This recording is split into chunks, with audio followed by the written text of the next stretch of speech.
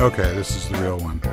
Hi, Steve Gillmor. This is the Gillmor Gang. We've got uh, an interesting brew today, and uh, we'll start with uh, coming to us from New York, John Borthwick. Hey, Steve. Thanks for joining us. Uh, from uh, Half Moon Bay, Robert Scoble. Welcome, Robert. What's up? You I got some- a new You got I got a new color for you. You got something in your eye. It looks like you've got pink eye now. Yeah, baby. Okay. Uh, from uh, where are you? San Jose. Uh, Kevin Marks. Yes, San Jose, which is very hot today. 92 degrees. Come to Half Moon Bay. It's nice and cool. I'm going to Livermore. It's going to be worse. and from what? Palo Alto. Keith. Actually, Mountain View right this second. Mountain View. Keith Teare. Welcome, Keith. Thank you. By the way, it isn't what's up, Robert. My kids tell me it's what up. What up? Say the S. Or as my three-year-old says, "What the?" Because he used to add a little four-letter word to the end of that, and we uh, figured out how to get him not to say that. So now he just walks around, "What the?" That's what YouTube uh, Minecraft videos do do to uh, young kids' brains now. Well, when they accidentally set the entire building on fire. Yeah. You've, you've seen that one? No. It's um, it's hilarious and sad at the same time. This guy's talking about how he's built this wonderful house out of wood, and then he says, "And I've got a fireplace here," and you're like, "Uh oh!" And the entire building catches fire in front of him while he's doing the screencast, and he's like, "Ah, oh, oh, how do I set?" Oh, because it's quite hard to back up Minecraft unless you like spend a bit of time at the command line with Java. Yeah. It's it's very hard to uh, separate twelve-year-old children from Minecraft. Yes, it is. Basically, they fall asleep slumped over the keyboard, uh, and then wake up, wake up, demand food, and then go right back to it. Uh, So- unless, they, unless they intersperse it with Clash of Clans.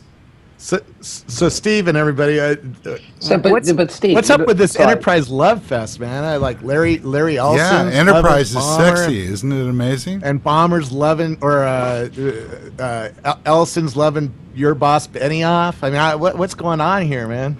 Well, uh, you know, I, I can't comment beyond uh, you know our spokesperson, which is named Marc Benioff. But uh, uh, you know, I saw the or listened to the uh, show and uh, the conference call, and uh, saw the transcript. I don't know if it's publicly available or not, but you know, the things that Larry Ellison had to say were just phenomenal. I mean, it's just, it's it's fantastic what. An awakening has gone on around the cloud over the last couple of years. I mean, it's it's extraordinary. So, uh, eh, what what's your take on it, Robert? I, you know, I guess the billboard wars are over. what you mean? Because nobody has any gas anymore. Well, I got to explain what a billboard war is because on Highway 101, there's a series of billboards near Redwood City uh, where uh, Oracle's headquarters were and Sybase used to be there. And for uh, a decade, there used to be these billboard wars where you'd drive by and Oracle would say something nasty about Sybase, and then Sybase would say something na- nasty about Oracle, and somebody else would say something nasty about somebody else. And uh, I guess now everybody's, uh, you know, kissing and happy and partying, and billboard wars are over. Uh, John Borthwick, you're. Uh, uh, what do you think about this? Uh, you know, new emphasis on uh, the enterprise is, is sexy. Is it kind of uh, kind of strange, huh? You know, s- I, am still, um, I was still thinking. Actually, I, I was barely listening. I was still thinking about slaughtering pigs in Minecraft. so, Okay. because, you know, well, I guess we Keith don't have was much str- to well, worry Keith was about. struggling about feeding his kids, and I mean, my kids, you know, they they they they find animals and then they spit roast them and they make bacon and stuff. So it's just it's just fine. Yeah, well, you know, add into the uh, slaughtering pigs. Uh, uh, Aaron Levie, CEO of Box, was on stage with Ballmer this week at uh, the Microsoft conference. That, that shows how the world's changed. I think what, what's really changed, though, is uh, Oracle's feeling uh, under pressure because of the NoSQL database. Um, I wouldn't call it a revolution, but innovation that's coming along and they're starting to consolidate and say, "Oh, okay, th- this war, war is over. The old war is over, and we better consolidate and get along uh, to protect that and protect it against all these new upstarts like MongoDB and and so forth." Uh, John, you're really tied in with the startup world. What what are you? What kinds of databases are the startups picking? I, I bet it's not Oracle. you know, no, no, no. I mean, it's uh, the you know the stack that we work off um, is, uh, is most of it is much of it is Mongo. You know, there's Tornado. There's I mean, there's a whole bunch of open source um, tools um, that our teams What- that what- our teams use, and and it's just you know, I haven't seen a single company, Robert, in I, I want to say five years, um, who's come through the door and said that they're building. That's not true. I've seen one or two international ones, right? There's some random companies you get, you know, who come by and see us and they're in another geography and um, they'll still be like, they'll come in and they'll say, well, we're building this on, and, and they'll be using uh, some antiquated um, proprietary um, database or, you know, random stuff, you know, dot .NET or something random. And we'll be like, what the hell? right. Something random like dot .NET. talk talk through the technology stack you're using. And Keith, I'd love to hear what you're using too. Uh, you said Tornado. Ex, ex, it, tell us what all these technologies are that you use on the back end that most consumers probably don't know of. Um, but why why are you you seeing startups use I mean, I think so. So let me. I'll go through a few of them, but let me just say generally, it's like the the open source stack just dominates, right? And so it's a um, it's it's it's a culture and it's a it's a it's a way of working, right? Which um, you know it's been uh, has has moved through the entire development system, um, and you know all the way back from Richard Stallman all the way forward to to Git, and it's it's a whole cultural difference, and so you know the flavors will change over time, right? I mean, on the database side, you know, if you'd asked me four four four years ago, you know, the Bitly guys were deep in something called Tokyo Cabinet, um, which uh, uh, and then you know they and then they switched to Mongo, right? And they got deep into Mongo. So the flavors can change over time. Mongo's an incredible um, an incredible tool, but the flavors change over time. But this overarching umbrella of you know the open source stack is Yeah. what you know, I think people need to sort of that that's the uh, that's what's changed the world. And what, what we do, Robert, is um, at the very bottom of our system, we use uh, DynamoDB, which is Amazon's version of HBase, basically.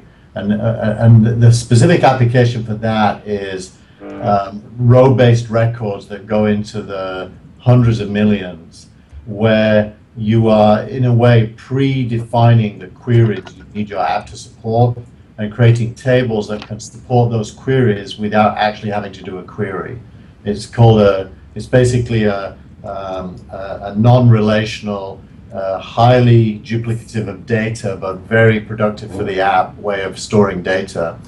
So things like MongoDB are beg- beginning to be a hybrid. They're now starting to support both um, uh, HBase or Hadoop-like row-based data to support queries, but at the same time supporting SQL-style databases, which are relational, which are good for things like user records and profiles, Yeah. uh, things that change a lot and that need relationality. And so a lot of the choice of the tools is based on what it is you want to achieve. Yeah. And it, it isn't NoSQL versus SQL uh, in that more simplistic sense because they both have their place, but they do very different things. And you really can't scale SQL to do the stuff NoSQL does. Steve is is You can, but it's Toshek on this call? Yeah.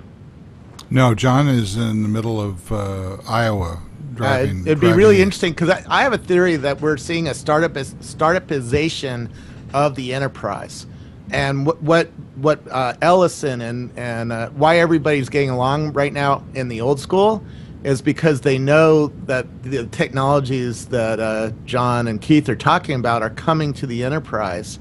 They're being adopted by renegades in the enterprise because that's who still is you know picking technologies, and they're uh, consolidating and and uh, coming out with things to fight that onslaught. You know, why, why is Microsoft investing a billion dollars in a data center to do cloud computing?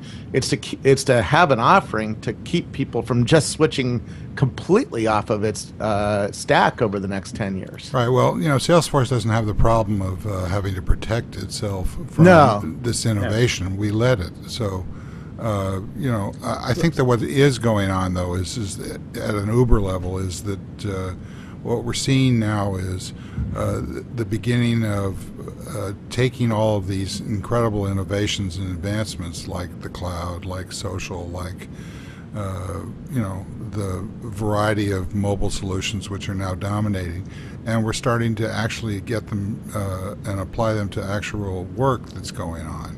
And you know, we're we're consuming, we're digesting this incredible innovation spurt that's been going on. So. Uh, you know, yeah, we can talk about the, the role of open source. Obviously, that's been paramount for uh, many years and we can talk about the startups and uh, but you know uh, we're seeing you know for example John Borthwick you just launched a, uh, a Digg client with a, a with a RSS reader built in or you know I, I would suggest that it's more of a, social reader built in but you know, nonetheless uh, this isn't a new technology but it is you and others coming to terms with this incredible architecture that's been built out around social and starting to uh, deliver products that really take advantage of it and give users something to do with it. The, the, you know, on the conference Right. call, uh, over and over again, both Larry and Marc said that this was, you know, being driven by what customers want. Yeah. They see what's going on here. They see the economies of scale that the cloud brings. They, all of this stuff is now, uh, you know, if you don't do it, you're going to get clobbered. Is basically what's happening. And Yeah. you know, so uh, there's there's plenty of room for uh, people getting into this. And Well, the the other thing, I, I wrote Mark on Facebook and said, uh, you know, if I was Mark, I'd be laughing my ass off, or behind off. I wrote, uh, and I I said we're really coming to the end of an age of disruption in this week, and starting a new age, which is uh, sensors, wearable computers, big data, and the the uh, continued exponential growth in social and location data. Those five things together are are causing, I think, innovation in databases to come along because you certainly are not Right. going to hook that stuff up to an Oracle database, right? Um, a- and I think Salesforce is far better positioned to lead into this next stage because, heck, Marc was ten years ahead of Larry and Ballmer. 10? It- it- yeah. So, Robert, do yeah. you think what didn't 15, didn't, didn't Salesforce start talking about the cloud like ten years ago? I think- Salesforce has been on the cloud since day one. Right. And how old is Salesforce? Uh, 12 years? 13, 14 years. 14, 15 yeah, that's years? why I, you know. The, All right, so 15 years. uh, And let's say before it's that, 12 you years know- ahead. You know, because whatever, it's it's a long ass way ahead, and I think uh, Salesforce is pretty well positioned out, out of all those big enterprise companies to lead us into the future because they have such a, a much better view of. They're closer to the customer, I think. You know. Yeah. I would I would add one thing, or I'd counter with one thing, Robert, which I think Yeah. is is that you know when you've been a renegade for a long time, and I think Salesforce has been an incredible leader um, through this period of the cloud. Um, you know, one of the things that's interesting about our business is the whole world can change overnight. Yeah. And when it changes, you're no longer you're now the incumbent, and you have to start. You, you, strategy needs to change because you're no longer in the business of convincing people that it's the cloud. Now the cloud becomes the utility on top of which everything's built, and it's it's sort of you need to move up a few levels. And so, just listening to you guys, it seems like on the enterprise side, and this week I've had a busy week and I haven't watched much of what's going on. I heard a little bit of chatter about it, but it seems like one of those we've gone through maybe one of those changes. We'll probably see in hindsight if it was that, and if so, you know, Salesforce and everybody's going to have to learn how to adapt because um, you know, being being the guy on the edge saying the world's changing, the world's changing, suddenly you find yourself center stage in the changed world, and you've got to act differently. So to me, that's key. What John just said is key. Um, the, the, the cloud's a constant, but it doesn't constantly do the same thing during the last 15 years. And I think the primary place to look for change is how the cloud is consumed. And up until very recently, the only answer was through a browser, which consumed an app. And obviously, the Salesforce uh, presentation layer has been a browser-based app mostly for most Correct. of its life. And now we're moving to the cloud being consumed in a lot of different ways. Uh, some of it is apps, some of it is devices that are hard coded to cloud services. Um, some, some of it is pushed, some of it is pulled. So at that level, there's a massive amount of transformation that, from a software point of view, pulls the rug from under your feet unless you're on top of it.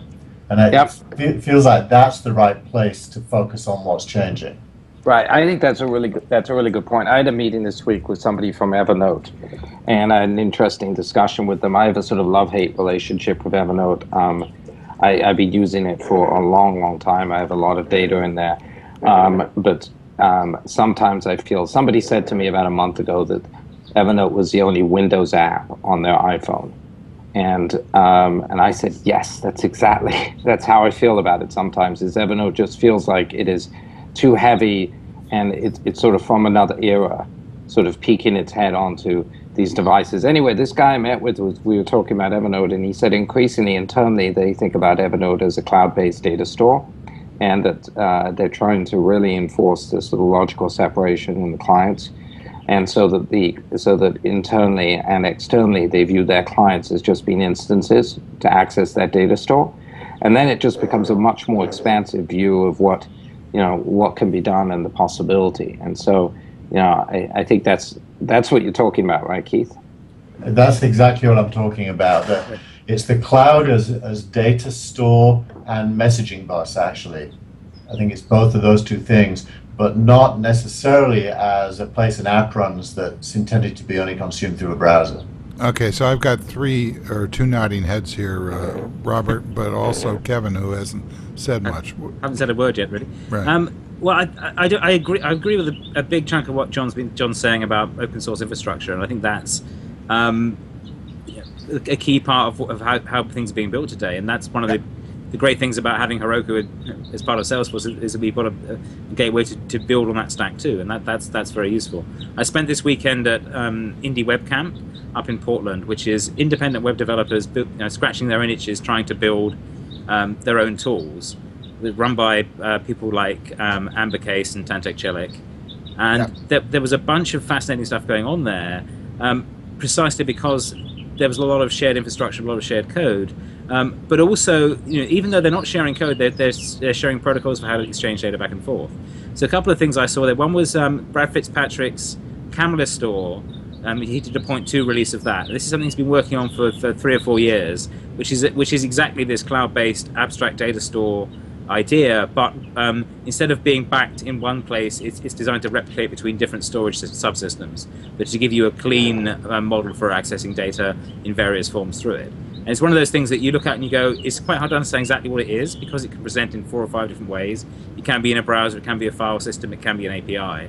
Um, but the basic idea is you just throw all your stuff into this and then worry about what you do with it later. And I think that that plays into what um, John John was saying, which is that um, we've expanded the domain of, of what these different things apply to. Um, there's there's a domain where classic relational database makes a lot of sense, but that used to be the sort of the center of, of the world that you then had lots of acolytes feeding data into it and making it the right shape. Um, and we even went through the whole object relational mapping nightmare of assuming that everything should be stored in a relational database because it, it was such a nice thing. And what we have with these newer stores is you're basically just storing JSON documents or web pages or images or other arbitrary things, and and you you define a, a, a simple API for moving things back and forth between them. And that's the piece that's um, it doesn't make them it doesn't make the relational database irrelevant, but it it puts it back into its correct domain rather than trying to stretch it to model things that it can't model very well. Like a, a graph database, a social database, is very hard to model with a relational database because all the links feed back to themselves. Whereas with a, a database that's tuned for, for holding graphs, you can do a much better job.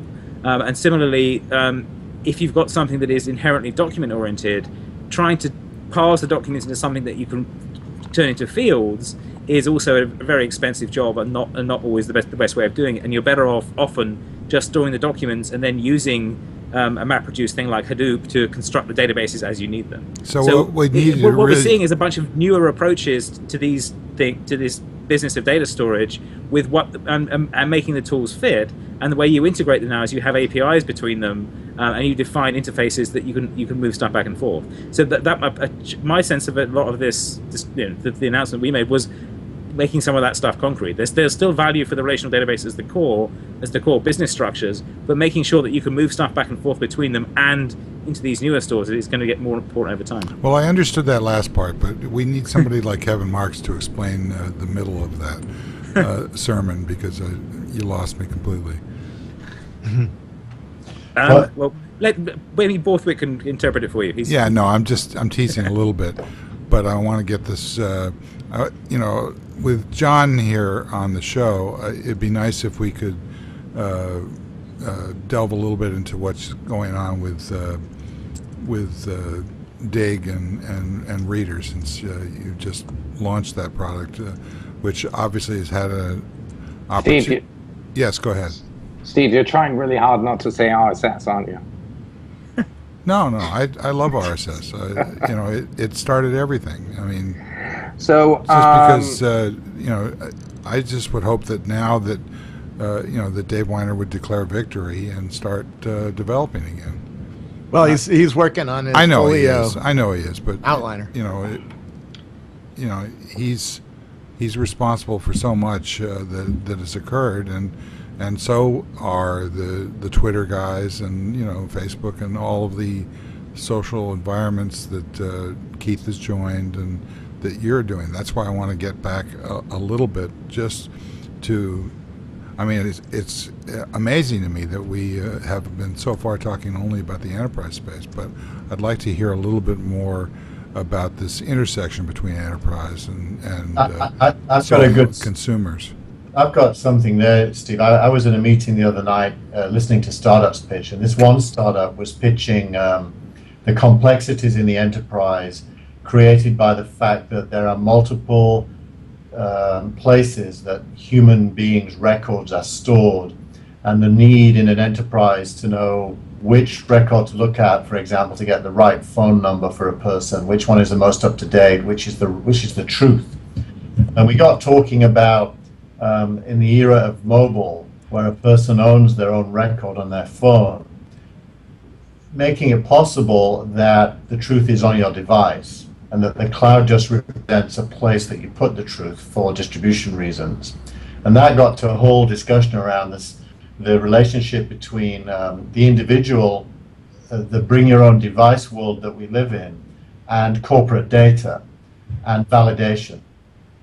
And it felt as if are starting to get to a point where the Active Directory service, the centralized Microsoft style Active Directory service, or the um, uh, the LDAP service that uh, non-Microsoft shops usually have uh, in the enterprise, has some relationship to the individual's device, where the center of the truth reside on the device, not in the centralized database. And that, to me, was the first time I'd heard a conversation where the architecture of the enterprise begins to be impacted by the reality. Uh, and I don't know how real it is, but it sounds very logical. I heard about uh, a third of the last sentence, the reality of, and then I didn't hear. Uh, I, I said I'm not sure how real this is, but it sounds very logical. And if it, if it is logical, it means that the architecture of software in the enterprise changes from being centralized truth pushed to devices uh, into device truth pushed to centralized copies, which is kind of interesting because then you change your phone number on your device and everyone gets it, but there's no synchronization going on. It's all messages being pushed. Well, I think we've talked a lot on the show about the uh, coming push notification uh, as the central truth of how we consume data. That it's coming in, uh, whatever first hits your eye uh, becomes, you know, a large portion of what you actually consume, uh, and it, that I think is already. Sorry, I've been coughing. Uh, that that's already overturned. I think a, a number of the strategies, uh, such as uh, uh, you know the impact or the relevance of email as the beginning of the day and the end of the day. It's now a, you know a number of competing streams: Twitter, Facebook, social in general, and then uh, you know the corporate uh, enterprise messaging infrastructure is also uh, you know shifting to accommodate these new uh, protocols and new uh, transports and the mobile equation. Robert Scoble, what do you think about the role of mobile in this? You know, separated from your you know Internet of Things kind of. Uh, uh, focus these days with that thing on your head, but Well, to me, it's not just about the phone number, uh, which, by the way, Facebook is generally the most reliable place to get your uh, a person's phone number because we're all self-interested and we always update our Facebook first, then our LinkedIn. Particularly if we're looking for a job, we keep our LinkedIn up to date, and then uh, uh, email is up to date, but but uh, not in a centralized way. I you know I, I look at my email uh, my phone number inside LDAP inside Rackspace, and it's not accurate because they give me a desk phone number in Texas. I'm never I'm never in Texas, and I don't even know what that phone number is. So if somebody tries calling that, they're gonna get nothing. You know. Um, now the email is accurate, and most people inside big companies now realize the first first way to start a conversation with somebody is not to call them, is to email them, say, "Hey, I need help with a problem," and uh, usually take it from there. But um, what what I really want is not just your phone number, but the likelihood that you're going to be there. I, one reason I like Facebook is you have a green icon next to your name, so at least I know you're online, and at least I know that you're on Facebook, uh, and that means you're probably willing to take a Facebook message or two, right? Uh, Right now, I'm on Facebook, and you can chat with me on Facebook, right? And and I'm on Google Plus. Google Plus has a similar thing through the Hangouts interface. It has a little icon that shows that I'm online. Skype does the same thing, right? Um, what if you could go further and get a signal that hey, he's in a meeting? Well, uh, Google certainly knows that on the public side, and Outlook knows that on the uh, on the inside, right? Because it knows what I what's on my calendar right now. uh, That I have a meeting scheduled for Gillmor Gang, and I'm not likely to take a phone call right now. Um, and, and so on and so forth. So we're heading into an age of context where these systems are going to start snapping together. The data, and that's why I was interested in the technology that Kevin was seeing at the Indie Web Conference, because it's it's that kind of protocol technology that's going to enable developers to snap together more things uh, quicker. That's going to make this glass do something more than just take cool pictures, right? yeah, I don't think this think is that's a. important. Go ahead. No, I, th- I think that, that's it. I think the part of the the value is it is now easier to make things that connect to other things. Um, it's easier to stick something up on a, a server in the cloud, call other servers in, in the cloud, and do stuff back and forth. But also, it's getting easier to, as Keith says, have the, have a something in your in your hand that can then talk to that thing as well, and can do maybe do some more specialized things locally and send stuff up remotely. Um, but but both ends of that become valuable, and it's it's it's. I had a session at Foo Camp a couple of years ago, which was the pocket versus the cloud. Which one matters more? Um, and what we're starting to see is a lot of these data stores and databases have an assumption that I'm operating on some s- subset of the database that I happen to have here, but potentially that stuff will replicate somewhere else, and that may cause something else to happen too. And working, th- there's lots of variants of that, and not all of them are, are you know ideal yet. Um, but but we're starting to see um, the API for the programmer not not not making you know which which one you're talking to, and that that starts to get more interesting. The way, the way I conceptualize that for myself is I think about um, where the center of gravity is. And it's unquestionable that even up to two years ago, the center of gravity was the cloud. It's now becoming the case some of the time that the center of gravity is the device and that the cloud is a support network to it. And for a lot of things, it's somewhere in the middle. Uh, but the insofar as there's a shift, it's towards the device, and, and, I, and I don't know what that means specifically because it's very specific to each each uh, thing. But Yeah, uh, in an hour, the guy who invented Sherpa is going to be here. Sherpa is a uh, Android competitor to Siri. Um, but that's exactly what he's doing. He's using the cloud to find things and centralize it somewhat on on your device, so it it gives faster answers and better answers and better context of what you're talking to it about. Um, John Borthwick, what do you think? go ahead. Um, I, I'm not sure. I'm not sure if this concept of the phone as truth. I mean, I, I, I think truth is a. I think it's it's going to be a little bit more distributed. There's a lot of background noise. Is that me? Uh, it's it's it's the it's called life. There's Life, just- yeah. Just So, fine in, yeah, so, sort of like truth. It, it, it's it is. Um, I mean, I think that the you know the phone the phone like the cloud. I think Keith gets a sort of edited subset of data um, that you know maybe more representational of self because it's a more personal object. But I think it's still a sort of edited subset. So I'm not sure I. Uh, I, I'm not sure I see it quite that way. What I see is that uh, I, I think Robert alluded to it a little bit. Is that you know it's not so much the real time aspects of it as the uh, once you realize and understand intuitively that you're in an environment where there are constant updates, there's constant movement, there's constant change, that you then need to uh, basically uh, make sure that if something happens, that if you're not immediately notified about it or if you're not alert to it uh, for whatever reason, you're busy, whatever, that you have a quick way of being able to retrieve it.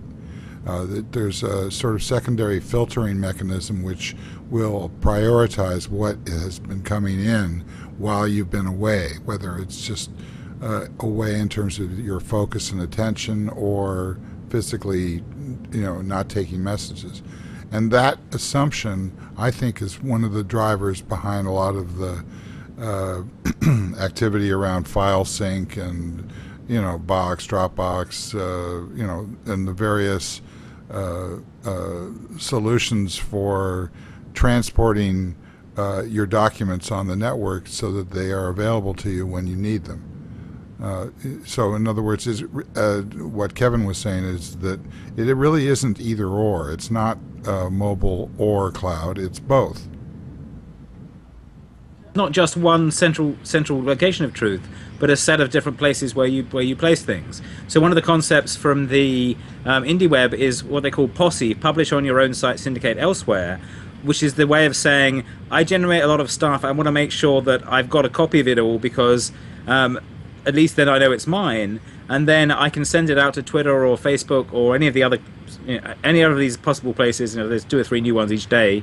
Um, and they may be ephemeral, and it may be worth sending some va- some parts of it to that and keeping some parts of it elsewhere. And we've seen that. You know, one of one of the great successes of Instagram was that they made that um, work very well. You keep all the all the ones you take in Instagram itself, but they you they would send them out to to Facebook and Twitter um, and, and and so on, and let you propagate bits of bits of this to different places. And i think that's going to get more make more sense over time as we start having more of these fora that make sense for different places. So there's some stuff i'd send to, to twitter there's some stuff i'd send to chatter for the internal consumption there's some stuff i send to facebook because that's where my, my family's hanging out. Um, and there's some stuff i'd, I'd save for writing my long blog post um, and then decide wh- where i where i who else would benefit from seeing that. And and not assuming that there is one source of truth, but there are overlapping sources of, of truth and knowledge and interest, um, and that stuff can move between them is, is getting to be part of this as well. Yeah, uh, it's interesting. You know, uh, uh, having Google Now, you have Google Now now on a on a iOS and, and Android, and it does stuff like if you walk into an airport, it pops up uh, your plane tickets and your uh, gate number and whether your uh, whether your plane's on time and stuff like that. And it's really cool on glass when you walk into an airport and it's there. But uh, one time I was coming back from Amsterdam and it was wrong because 20 minutes before I had called and switched my flight and it, it- it wasn't picking up the truth, right? It was picking up the truth of 20 minutes ago, but not the current truth. And uh, these systems need to better snap together and uh, need to be correctable by the user. And right, now, I can't, I can't correct uh, Google now and say no, I'm not on UA 593, I'm on UA 894, you know? And, I- well, what, what you're saying, Robert, is that the truth, there are degrees of importance of truth. And, and, and there are some things that lend themselves to the user owning the truth. For example, your name, address, phone number, social security number, blah, blah, email address. There are some pieces of data where somebody else should own the truth. In your case, it's probably the airline. And the air, uh, so, so I, I think the truth is um, relative to who the It's, it's not always Right. one airline is the problem.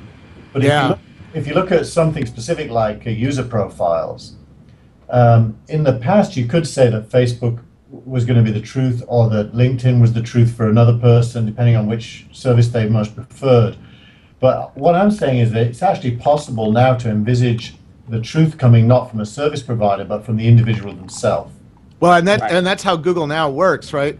Google Now assumes the truth is inside your email, though. And, and the when I changed that flight, United didn't uh, email me a corrected itinerary. So Google Now didn't know that there was a new truth available somewhere in the world. So it still needs to ask the user, "Hey, is there a different version of truth for for the I system?" Think also, Robert, I had a similar example this week where with Tempo, um, it uh, I had a conference call and it believes that the conference call was actually a location. So every time the number in the uh, in the item, so it had the wrong structured data types. Every time I hit uh, dial, it would actually try to pull up Google Maps yeah, and so, and so you know user modifiable but also understanding how these categories um, uh, and the metadata is laid on top hugely important right Now the problem is, John. Uh, you know, at Google, they're they're uh, taking on a philosophy that everything should be automatic.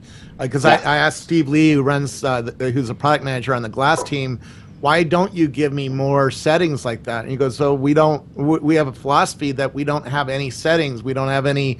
Uh, we're trying to make the world automatic, and it's cool when it works. Like uh, Francine and I were talking in the chat room about photos. When you when this thing automatically uploads photos, so it's automatic there. Uh, it automatically picks the most interesting ones, and uh, using algorithms to figure out what what are more most likely to be the most interesting photos, which is you know, it's interesting that it can try to do that, and it's pretty good at at it actually. Right. And then it, it automatically adjusts the photos like a Photoshop editor would to make the color and the sharpness and the and the depth better, and it does a pretty good job of that too. But but uh, this philosophy that the world is going to be automatic and and that it's Apple- almost like robert it's almost like when we um, you know when windows sort of became a um, a navigational metaphor and a layer you know obscuring the command line. Um, uh, we you know we suddenly had a GUI which was our navigational um, interface. And now it's almost like we're having an algorithmic GUI that's being layered on top of computing. And That's clever, yeah, I like and- that. and um, you know, Kevin Slavin has a brilliant TED talk which he does about this, where, which is sort of related to it, but where he talks about a lot of different things. But he uses the analogy of some, you know, these elevators you get into, and they tell you which floor you program the floor downstairs. yeah And you know, there is only one button you can hit, and the button is stop.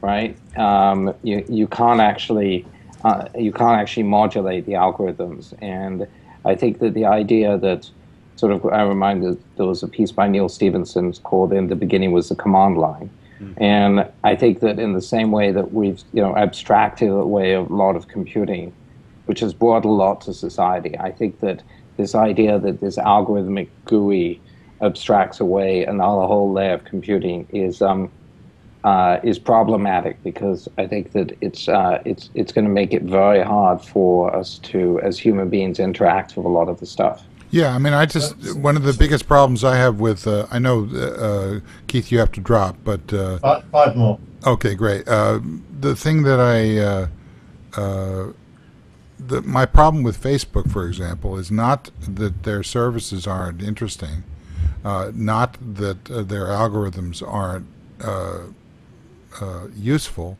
is the if I had the alternative to those algorithms, I'd be fine. So I think that Right, right. That's exactly right. It's like, I mean, I, I remember going to a dinner party about two years ago, and there were a whole bunch of people. It was in New York City, and there were a whole bunch of people there who didn't understand that their Facebook news feed was algorithmically filtered.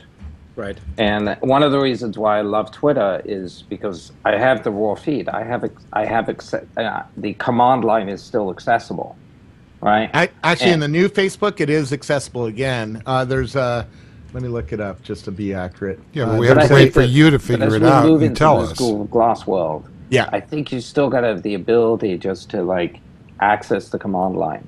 And so, you know, this entirely constructed Ah. algorithmic flu, I think, is There- um, There, I'm going to really disagree with you. uh, the, Google Glass, the Twitter app, uh, shows me tweets from people that I've set to uh, turn on their mobile notifications, and I've done that for about uh, 20 people. I think Steve Gillmor's one of them, Danny's one, and then I, I have TechCrunch and GigaOM and ReadWriteWeb and NextWeb. Those, just those 20 people are putting a new tweet in in my uh, head every 30 seconds or so. And it, it doesn't turn on the projector, so it doesn't distract me, but it chimes, and I know that they're there, and then I can turn it on and read tweets. You know, here's one from Jeremiah, here's one from Dave Winer, here's one from the Daily Dot. Um, you know, right. But and you, on you're and on. controlling that, right? That's what I mean by access. Yes. Yeah, but right, uh, but I control it not in the glass, but on the desktop where I set uh, who gets Fine. to be notified.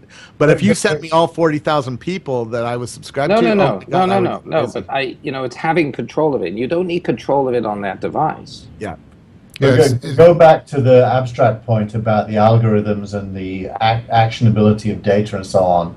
Um, I, I- we, I had a great example today where we had an Archimedes Labs meeting this morning, and three people showed up late because there was a accident on the 101 near Embarcadero, and the company that was coming to see us was a company in the traffic information space uh, who was pitching to us, and this company's developed an algorithm that can time a delay and do it in real time uh, better than say a Waze can. Uh, it's got it's got a predictive algorithm that takes into account lots of variables, including events on and all kinds of stuff. But nothing that we have today, even how great we've got in the cloud and how great the predictability is and how good the algorithms are, there was nothing anyone could have used this morning other than manually to figure out that they were going to be late for the meeting. So there's a lot of innovation still to be done between the cloud and the device and the person as to not just what is the truth. Uh, I mean, I can look at a Google map and see a red line, but I don't know what that means in terms of how late I'm going to be. I just know I'm going to be late. Uh, there's a lot of space to get between the user, the data, the cloud, and the device. Even Google now, in a way, doesn't do it because it isn't pushed at you. You've got to go and look. It's more, more the notification center feels more like the right place than Google now. Yeah. Uh, you, uh, and, and the ability to what John called uh, algorithmic GUIs, was it? It, it, it I, I liked what I, what it was. I've forgotten the exact words. Basically, the ability to understand and inform you when you need to know about something that's going to impact you. We don't really have that yet. And Robert talks about contextual computing a lot, which I think is the right way to frame the goal. We're a long way away from Yeah. from it. No, I, I uh, you know, I want to talk to the internet and just ask it questions. Where's the closest sh- coffee shop, or, you know, what's uh, what's playing at, at the movie theater tonight, or you know, all sorts of things. And it's it's not even close to satisfying that expectation. Um, it's giving us a little tiny taste. It's like Google just gave me a little taste of what the future is going to be like, and uh, the future still is you know four, five, six, seven, twenty years away, right? I don't agree with that at all. I- well, uh, it's I- not four here or five, yet. six months away. I don't. Uh, you know, we always underestimate Maximum. how long it takes to do the stuff right. Uh, uh, I didn't say that it has to be done right, but the future is is not just. Uh, thanks, Keith. We'll see you again next time. Thanks, Keith. Uh, the future is is not just uh, people doing something right. It's also uh, a lot of people doing something where they're experimenting, where they're you know. We Oh, that- stumble into the future. We don't just. Yeah. Uh, Yeah. it- It's not. And we iterate into it, so it's great that I have a little taste, and next next month I'll have a little bit better taste. And then the, Why is know, that? What's happening Because next month? because the app developers, I just got a Gmail from an app developer that built another app for the glass, so that the app developers are starting to dream and build and and iterate, and then people that Ke- Kevin was talking with are building new protocols to let these things snap together better, and and it all gets better, and some of it doesn't work, and some of it does. So uh, uh, That's why we have the Gillmor Gang every Friday, right? so we have something to talk about. Well, thank God, right? uh, so we're going to wind down a little bit here, and uh, so I want to start with uh, John Borthwick and ask you, uh, what what do you think is uh, going to be interesting that's coming up in the next few weeks? Um, you know, it's the July Fourth, and things are going to slow down, but uh, I have a feeling, I mean, given the uh, the volume and the uh, importance of things that went on this week, uh, that uh, things things are really moving right now. Yeah, I mean, I, I think there's an awful there's an awful lot going on. So, I mean, we're I I've been pretty distracted in the past week with the Digg um, with the Digg launch, Yeah. and so And you still um, haven't answered me. How's that going? What's going It's on? going. It's it's going great. You know, I'll give you a quick answer. I wanted to talk about other stuff, but it, it's going great. I mean, we are um, was we we signed up and brought in about hundred thousand people into the the new reader, uh, and what we're doing is we are we want it to be really fast and really stable. And the back end of this stuff sort of it sort of forks off the discussion we were having earlier about systems. Uh, the back end is uh, it's complicated, and you know we have a couple of million, I think about three, three and a half million feeds that are going through the system now. And that's, you know, about two million more than yesterday. And so, you know, we're adding the feeds at a torrid rate. And so we're just metering it through and going slowly because when we take it off and make it open uh, to everyone publicly on the web, we want it to work really well. Uh, now, that said, as, as a lot of users have have, have uh, figured out you could download the iOS app and get running on it uh, straight on iOS. There's always like, you know, launching web and iOS together is always uh, tricky. And so since, you know, once we had pushed about 25, 30,000 people onto the web app, we just pushed the iOS app out. And so you could just get on the iOS app and then sync in with Google and you're off and running. Um, it is, um, so it's going really well. It is a um, it it has been remarkable the amount of attention and and interest that has been in a reader product in 2013. I thought this was a very important part of the system um, that we're building at BetaWorks, and um, Andrew and the team have done it uh, have done a great job of delivering, you know, in typical BetaWorks fashion, a very you know highly functional product that you know gets out of the way and lets you do what you need to do. Um, but I've been surprised by the amount of attention to it.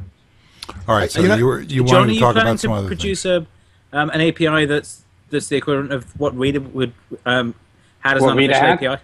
Yeah, we want to do stuff on the API stuff. We want to do market, uh, you know, um, uh, we want, there's a whole bunch of functionality which we know is got to come, uh, but we do want to do an API. Because And, um, part of the value was the centralized crawling, um, and if you Yeah. if you are crawling several million feeds, that's better than each of us doing it individually for our own machines. So I, I agree. you know, hooking to I that would be great. Yeah. Yeah, so there will be some of that will come, and you know we've got wonderful partner companies. I mean, within the BetaWorks network, a company we invested in is is If This Then That, who we love, and Yes. you know we'll work with those guys and do some fun stuff. The other thing I should mention is is that you know also at BetaWorks, I mean the attention this week, as much of it's been on uh, on on Digg and what we're doing there, but we also have this wonderful other company that is the leader in the fashion blogging space. And Bloglovin it's a it's a rss aggregator for fashion blogs. And Bloglovin has since you know the RS, the the reader announcement the google reader announcement Bloglovin has picked up a couple of million users and so it's more than five it's uh, on uniques i think we're going to be more than six this month. And so uh, Bloglovin is doing great. It's a very different audience. It's 90% women. And the word rss and reader are sort of nowhere on that product. Yeah. um, but but it's again, you know, a testament to the fact that we we view this as a really important piece of the system, right? So there's data which we see on the Bitly side, there's data which we're seeing on the reader side, and there's uh, wonderful tools like Insta like Instapaper, which uh, uh, which we're now building out, which you know all fit into this puzzle um, of the emerging sort of uh, news reading curation uh, discovery system. What, why hasn't there been a uh, winner take all in, in the news aggregator business? I mean, I, even on my own behavior, I, I really like Flipboard, but I still use Prismatic. I still use Pulse. Um, you know, and we have lots of arguments, and other people say they hate Flipboard and they love Pulse or they love Zite and other people say they hate all those and they love Digg. It's, it's a very personal thing. I, I think, think. Is, is yeah. how these present themselves is very personal. That's why I was yeah, asking about APIs because there's value yeah. in that backend infrastructure and making you know has this thing updated? Have I read it already? Storing that in a, in a useful way. But then there's lots of ways of presenting that, that that are enormously valuable. And a bunch of those. You know, what happened was effectively Google produced that API because it's very hard to compete with their level of crawl. Um, and so we had these competing things that were based on not how things were crawled, but on how they were presented. I think we're gonna right. we're gonna get that that back again. thing. So right. I would I would add to that that I think that there's you know a key piece of the um, of the stickiness to um, certain apps is the integration of the of the social graph with the um, with with the data and with the interest graph. And now we've had you know now we've got social graphs that are scale and that are independent. You could flip back and forth between these things.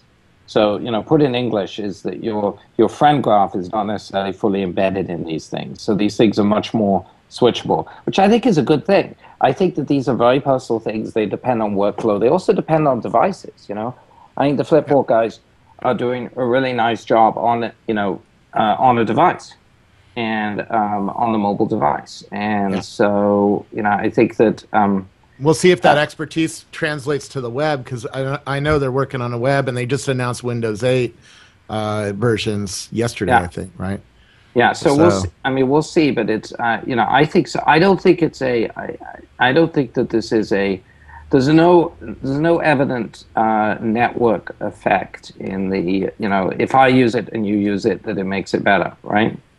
Um, well, and, except for the, magaz- the, play, the, magazines, the magazines are yeah, the playlist magazines. Yeah. The, the, the, Flipboard magazines are uh, what got me back into Flipboard. I, I started using Prismatic and other services more for a while because they were better at algorithmically picking. But the magazines are, because they're human done, there's something to that. And then if, if there's a com- combined algorithmic and human approach to it, that, then I think you could see uh, a network effect. But it's, it's a hard one to communicate. Yeah. Um, I'm look, seeing it because I'm building magazines, but it, like my dad, I, I'm not so sure he would get it, you know, and yeah. and it's hard to com- communicate even to, to somebody like Francine is extraordinarily smart and and connected. What's powerful about that? Right, and we have, you know, both in Digg and Bloglovin, we have there's editorial aspects to them, right? In Bloglovin, it's mostly done by the bloggers, but in Digg, you know, the top of Digg is you know the way it's the way it works now is you've got a top which is you know digg.com which is what the internet is talking about right now which is data filtered by editors right? So that's human driven. You then have your rss which is entirely personal. And then we have a wonderful little popular feature which sifts your rss and algorithmically gives you the stuff that's most interesting and popular right now within your selected rss and so we sort of viewed it as you know these three different tiers, and um, I think that it's you know some combination like that feels right.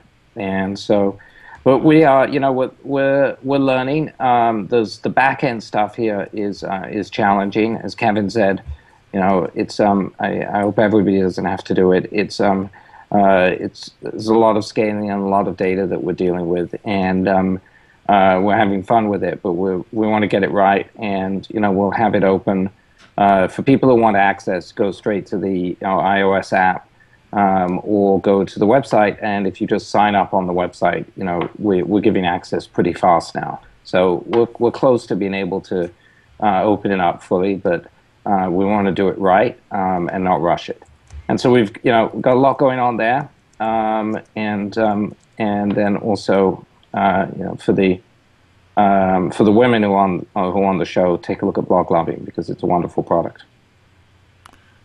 Well, the, the one of the things that I think is uh, sort of unspoken in your strategy regarding uh, you know, web versus or in addition to uh, iOS. It's really turned around. It's it, although you started with web, you actually uh, built the web enough so that you could get some flow going, and then you went to what is in fact uh, the reference platform, which is iOS.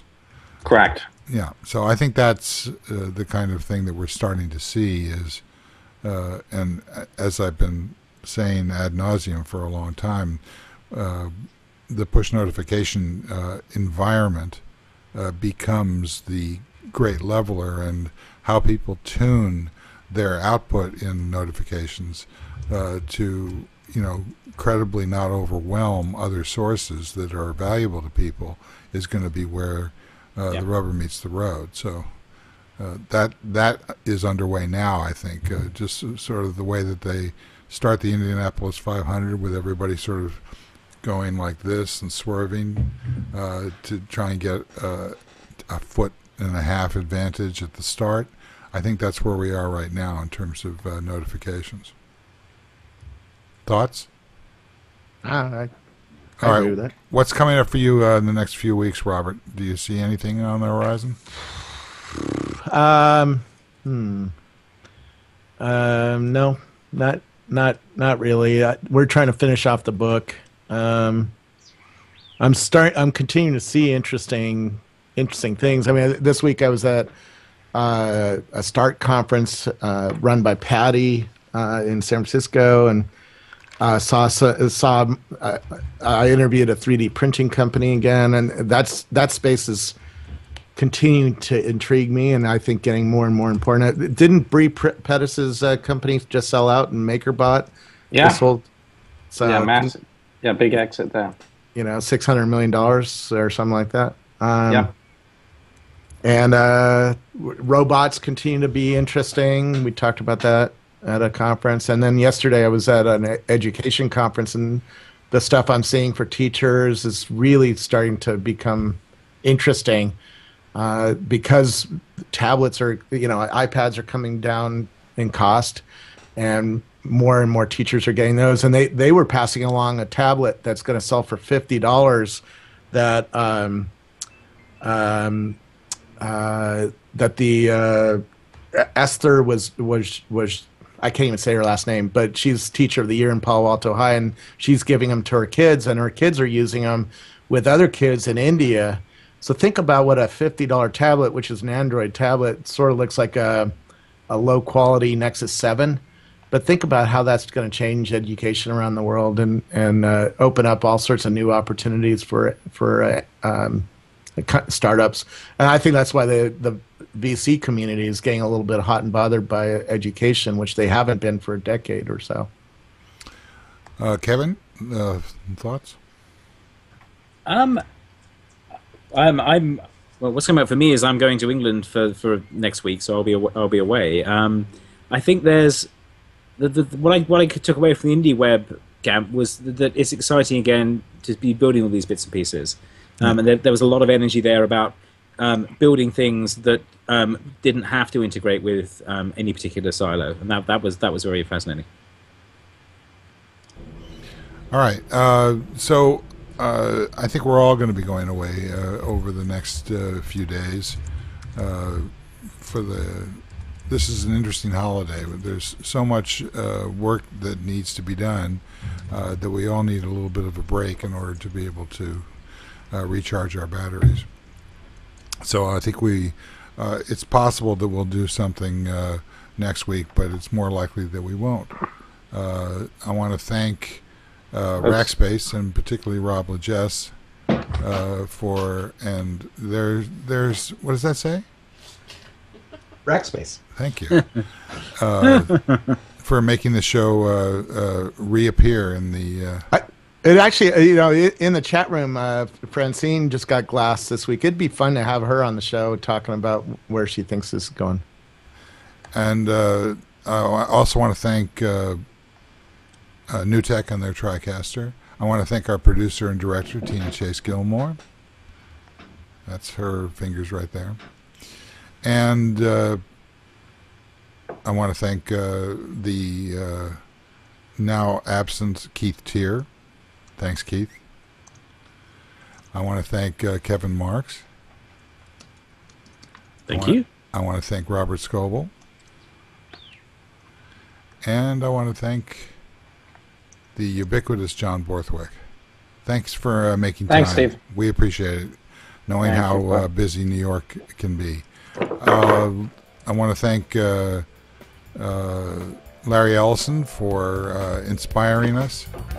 I never thought I'd say that, but I think it's true. He's, he's really said some very interesting things on uh, in that call, and of course Marc Benioff for uh, leading the way.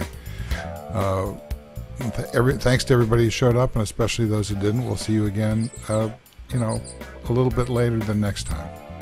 Bye bye. Bye, Steve. Thank you. Thank you.